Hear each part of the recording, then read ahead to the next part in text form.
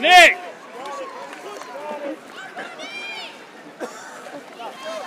Can we, can we get in and help him? I know. She said, I know. Swim! Hey, you're not in last, though. Oh, uh, not yet. oh, no. Put the right one down. Put the right one down.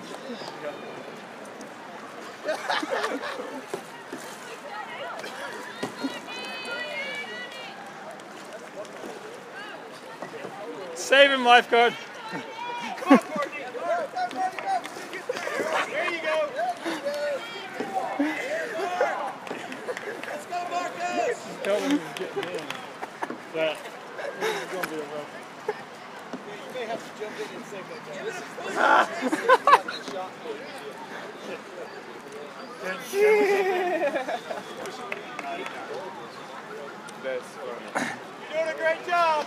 Shut up! It's funny. Hey, hold the rope up.